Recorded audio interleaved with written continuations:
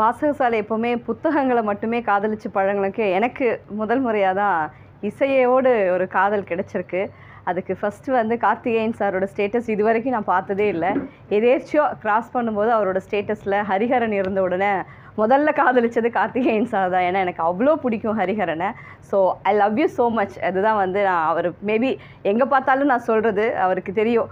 கத்தி ஒரு ஐ love you sir அப்படின்னு அவரோட கான்செர்ட்டில் சொல்கிறதா இருந்தால் அது நானாக தான் இருந்திருப்பேன். So again I love you sir ஒளியும் ஒளியும் எனக்கு வந்து தொடர்பு எல்லைக்கு அப்பாற்பட்ட ஒரு நிகழ்ச்சி. ஏன்னா நான் அப்போ தான் கேரளாவிலேருந்து வந்த புதுசில் டிவி இல்லை. டிவி இல்லாத ஒரு குடும்ப பொண்ணு.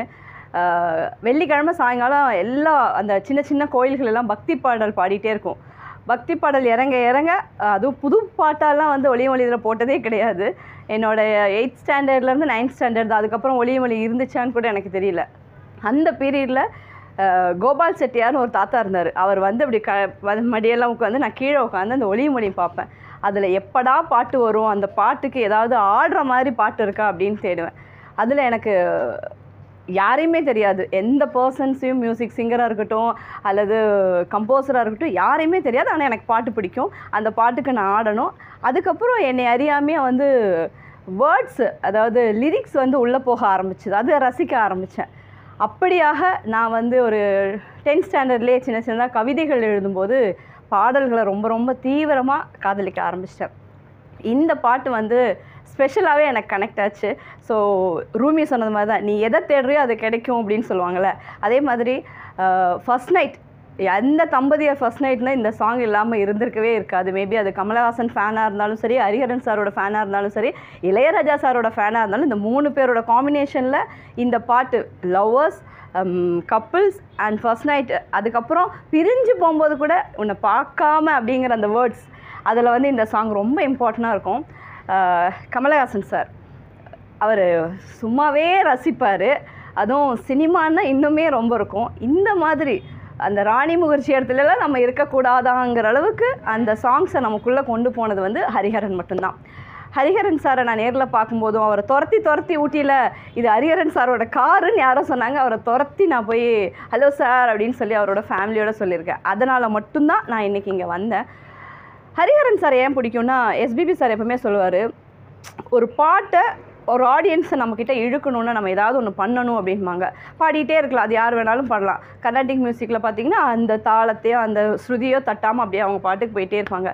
பட் லைட்டாக ஒரு என்ன அப்படின்னு இப்போ உயிரே அப்படின்னு இதில் கூட வரும்போது அப்படின்னு வந்து ஒரு- ஒரு இடத்துல டக்குன்னு நம்மளை முடிச்சு நம்மளை அப்படி கூப்பிட்ற மாதிரி ஒரு டைலாக் மாதிரி ஒன்று பேசுவார்.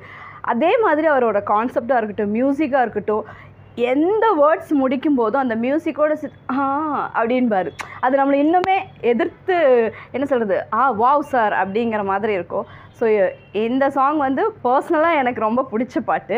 ஹரிஹரன் சாரை நான் அவ்வளோ காதலிக்கிறேங்கிறதுனால இது எனக்கு கிடைச்சதுல ரொம்ப ஹாப்பி ஒளியும் ஒளியும் இளையராஜா சார் அதுவும் கமல் சாரும் இளையராஜா சாரும் சேர்ந்தாங்கன்னா சொல்லவே வேண்டாம். அவங்களோட காம்பினேஷனில் ஹரிஹரன் சார் வந்து அவரோட கண்ணாடி முதற்கொண்டு சார். உங்கள் கண்ணாடி உங்கள் ஹேர் ஸ்டைல் அதுக்கப்புறம் அவர் வந்து இப்படி தான் நீங்கள் பார்த்தீங்கன்னா அவர் மைக் வச்சு இந்த ஃபிங்கர் வரைக்குமே நான் வந்து அவரை ஃபாலோ பண்ணியிருக்கேன். அவரோட ட்ரெஸ்ஸிங் ஸ்டைல் அவருடைய தாடியெல்லாம் பார்த்தீங்கன்னா அது கொண்டை போட்டு இந்த தாடி தனியாக வச்சுட்டு இப்படி பண்ணிகிட்டே இருப்பார். அந்த அளவுக்கு அவரை வந்து மைனூட்டாக நோட் பண்ணுவேன். ஏன்னா பாட்டு எங்கே கேட்டாலும் சம்டைம்ஸ் வந்து ஜானகி அம்மாவோட வாய்ஸ் வந்து எந்த பாட்டு யார் கேட்டாலும் இசைப்பிரியர்களுக்கு இது அவங்களோட பாட்டு தான் அப்படின்னு தெரிஞ்சிடும் ஆனால் ஸ்ரேயா கோஷலாக இருக்கட்டும் சித்ரா அம்மாவாக இருக்கட்டும் கன்ஃபியூஸ் ஆகிட்டே இருப்பாங்க. பட் ஹரிஹரன் சாரும் எஸ்பிபி சாரோ இளையராஜா சார்லாம் பாடும்போது இவங்க தான் நம்ம ஆள் தான் அப்படின்னு. அதே மாதிரி மழைத்துளி மழைத்துளி என்னோடய ஸ்கூல் லைஃப்பில் நான் பாட்டு அந்த பாட்டுக்கு டான்ஸ் ஆடினது ஒன்று இன்னொன்று குறுக்கு சிறுத்தவளை அது நான் ஒரு நாளைக்கு ஒரு தடவையாவது கேட்காம இல்லை சார் ஸோ உங்களோட பாட்டு எல்லாமே கேட்பேன். அஜித் சார்லாம் இதுக்காகவே உங்களுக்கு ஆயிரம் முத்தங்கள் அள்ளி கொடுக்கலாம். ஸோ பியூட்டிஃபுல் சாங்ஸ் தந்துகிட்டே இருக்கீங்க. இப்போ ரீசெண்டாக உங்களை வந்து ஸ்டேஜில் பார்க்கும்போதும் வாவ் நைன்டி டூவில் நீங்கள் பாடின மாதிரியே இருக்கீங்க. நைன்டி செவனில் நீங்கள் பாடின மாதிரியே இருக்கீங்க. அப்படின்னு அவ்வளோ சூப்பராக இருந்துச்சு. எகெயின் சூப்பரான ஹிட் சாங்ஸ் எல்லாம் கொடுங்க. இவ்வளோ எமோஷனாக எமோஷன் மீன்ஸ் நான் ரொம்ப காதல் வயப்பட்ட ஒரு ஆள். நான் படங்களுக்கே போக மாட்டேன் இசை இல்லாமல் என்னுடைய ந- நாட்கள் கிடையாது நிமிடங்களே கிடையாது. காராக இருக்கட்டும் பஸ்ஸாக இருக்கட்டும் எந்த இடத்துக்கு போகும்போதும் இசையோட மட்டும்தான்.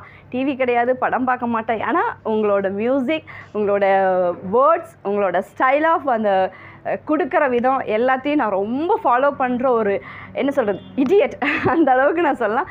ஸோ லவ் யூ சார் இந்த சான்ஸ் கொடுத்த வாசகசாலைக்கு என்னுடைய பெரிய நன்றிகள். தேங்க்யூ